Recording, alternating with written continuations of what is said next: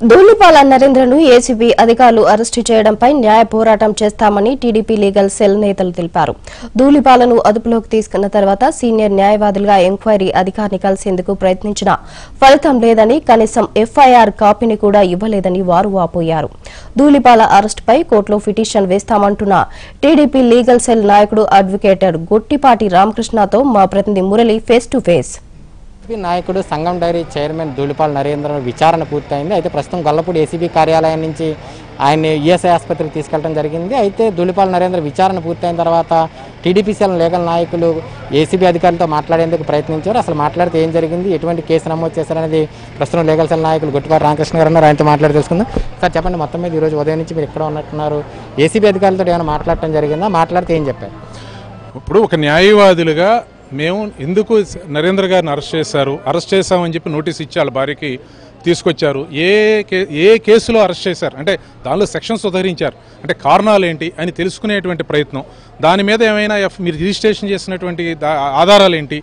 ఏ కే ఆధారాలతో అరెస్ట్ చేశారు అని తెలుసుకునేటువంటి ప్రయత్నం చేస్తే ఇప్పటిదాకా సో- పూర్తి సమాచారాన్ని ఇచ్చే పరిస్థితుల్లో దర్యాప్తు అధికారులు లేరంటే అర్థం చేసుకోవచ్చు. ఎందుకంటే పొద్దున్నుంచి ఉన్నాం. నేను చెప్పాం సీనియర్ అడ్వకేట్స్గా ఉన్నామండి. ఇలా ఇంతసేపు నుంచో పెడతాం కూడా భావ్యం కాదు. ఏం మాకు కనీసం ఎలా చేయటం లేదు అని చెప్పి అన్న తర్వాత ఆయన ఈఎస్ఐ హాస్పిటల్ తీసుకెళ్ళిన తర్వాత కలిసే ప్రయత్నం చేస్తే ఇన్వెస్టిగేషన్ ఆఫీసర్ గారు కనీసం కలవలేదు. కలవపోగా ఇంత అసలు అసలు ఇందాక మీరు ఇప్పుడు అడుగుతున్నారు అసలు దేని కింద తీసుకెళ్ళారు? అసలు ఏ శా- దేని కారణం ఏంటి? ఎందుకు అరెస్ట్ చేశారంటే చెప్పడానికి ఇంతవరకు సరైనటువంటి సమాచారం ఆధారం ఇంతవరకు లేదు. మరి ప్రసన్న మీకు పెట్టి చెప్పారా? మరి మేము అది చెప్తుంది. అంటే నోటీస్ ఇచ్చిన దాంట్లో నోటీసులు ఏమైనా మెన్షన్ చేయడం జరిగిందా? లేదా మీకు ధూళిపాల కుటుంబంతో మాట్లాడినప్పుడు మీకు ఏమైనా సమాచారం ఉందా? అసలు ఎవరికి చేయలేదు నోటీస్ ఇప్పుడు మా దగ్గరికి వచ్చే న్యాయవాదులుగా మాకు వచ్చినటువంటిది సమాచారం అనేది మేము ఆధారం అనేది నోటీసు. నోటీసులో సెక్షన్స్ ఉదరించారు. దేనికి కారణాలు ఏంటి అనేది లేదు. అంటే sections ఉదరించారు. Four not eight four not nine ఏదో సెక్షన్స్ వన్ ట్వంటీ బి అని సెక్షన్స్ పెట్టారండి. అది కారణం ఏంటి? అంటే దేనికోసం? అంటే దేర్ ఇప్పుడు ఉదాహరణ దొంగతనం జరిగిందన్న కేసు కేసు సెక్షన్ ఉందనుకోండి. ఎక్కడ దొంగతనం జరిగింది? ఎవరింట్లో దొంగతనం జరిగింది? ఎవ- ఎవరెవరు ఎ- ఎట్లా జరిగింది? అనేది ప్రాథమిక సమాచారం. దాని ప్రకారంగా లేదా ఎవరు కంప్లైంట్ పెట్టారు? ఇది తెలుసుకునేటువంటి ప్రయత్నం చేయడం ప్రాథమిక హక్కు అది. కనీసం ఆ హక్కును కూడా మనం పూర్తి చెప్పేటువంటి పరిస్థితి లేదు. ఒక న్యాయవాదులుగా ఉదయం నుంచి మేము అడుగుతుంటే కూడా సమాచారం చెప్పే పరిస్థితి లేదు. ఈ విషయాలన్నింటినీ ఖచ్చితంగా న్యాయస్థానం దృష్టిలో కూడా పెడతాం. ఖచ్చితంగా న్యాయ పోరాటం చేస్తాం. అంటే పార్టీ తరఫున ఫర్దర్ ప్రొసీడింగ్ ప్రొసీడింగ్స్ ఎలా ఉండబోతుంది సో న్యాయ పోరాటం. ఇప్పుడు దీనిలో ఒక రాజ- రాజకీయ పార్టీనే కానే కాదు. వ్యక్తిగా పౌరుడిగా ప్రతి వ్యక్తికి ఉండేటువంటి హక్కుల్ని కాపాడటం అనేది బాధ్యత.